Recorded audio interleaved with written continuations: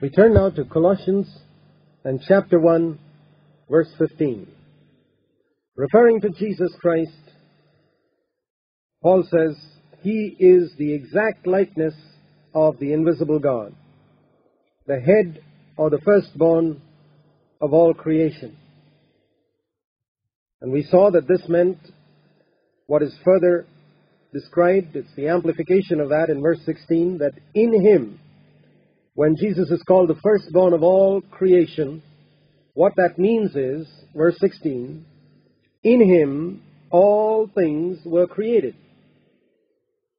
And things in heaven, things in earth, visible, invisible, thrones, dominions, rulers, authorities, that is, the angels and the archangels and all spirit rulers, all things have been created in Him, through Him, and for Him. And He has existed prior to all these things. Verse 17. Jesus Christ existed prior to every created thing and every created being. And it is in Christ that all things hold together.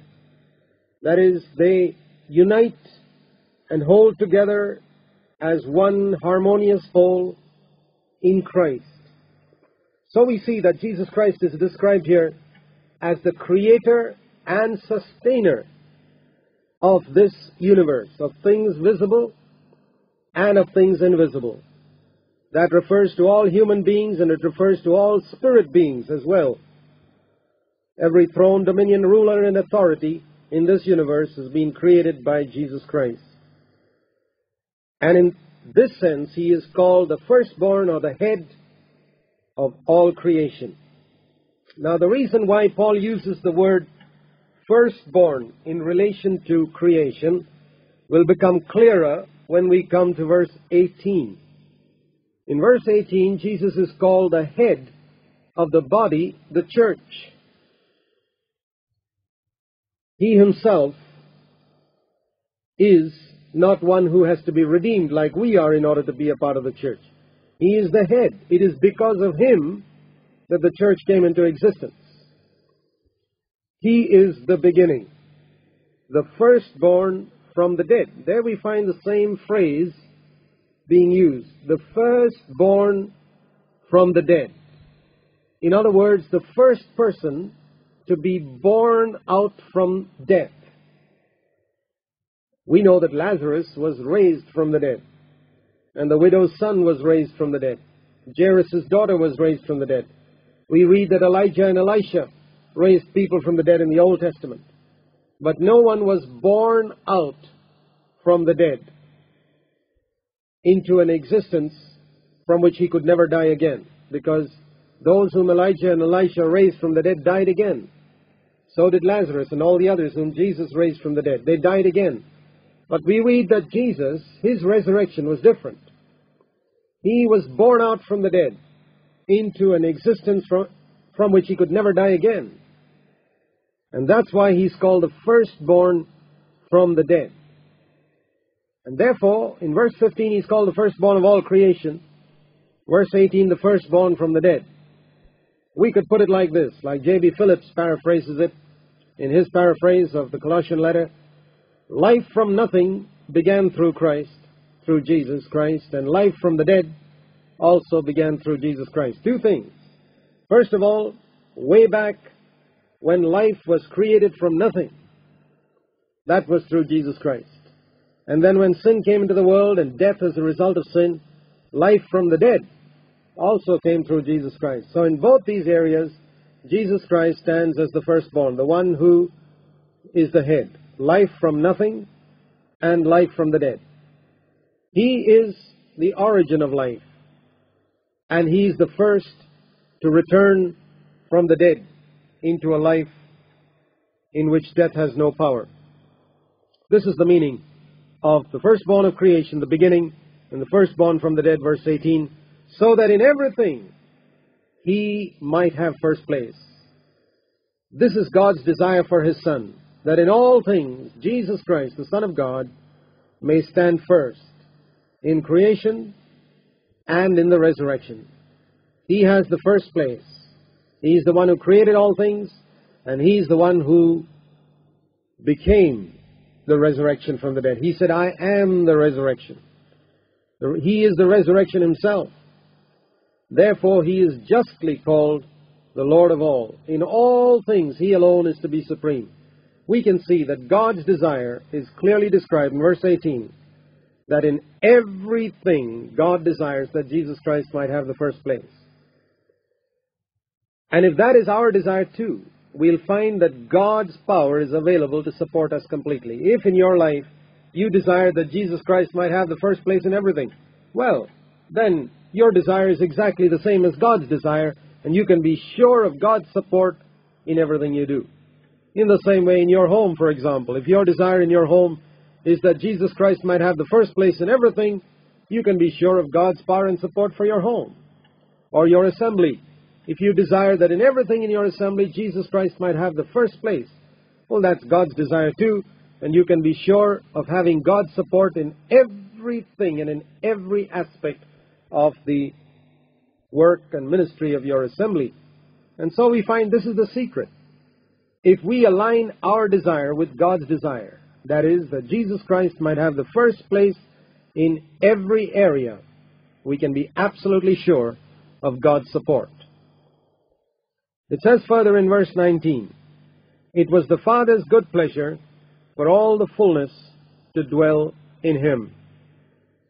What that means is, God's choice was that He wanted all of Himself to be in His Son. Everything, the entire nature of God, God wanted to be in His Son. The whole of the divine perfections and the divine nature, in its fullness, should dwell in Jesus. And from Him, we receive of that divine nature. As the head supplies life to the body, from Christ, we partake of the divine nature. We could not have partaken of the divine nature if Jesus Christ had not come to the earth in our flesh.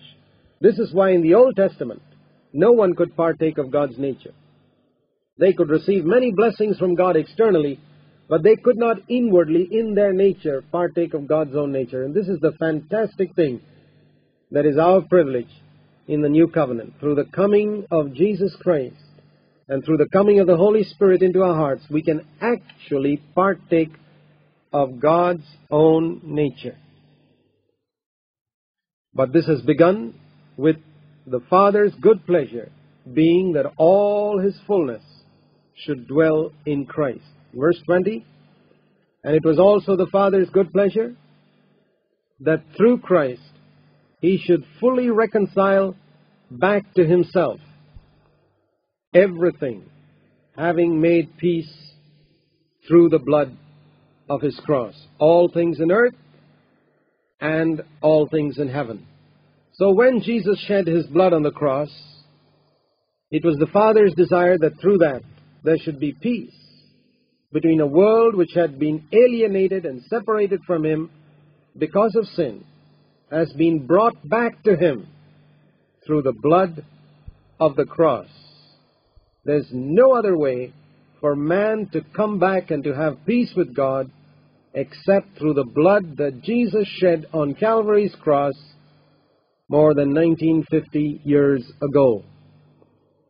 And we can put it like this, like the Living Bible says, it was through His Son that God cleared a path for everything to come to Him.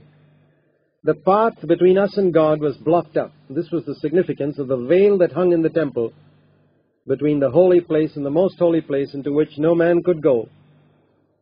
Now a path has been cleared.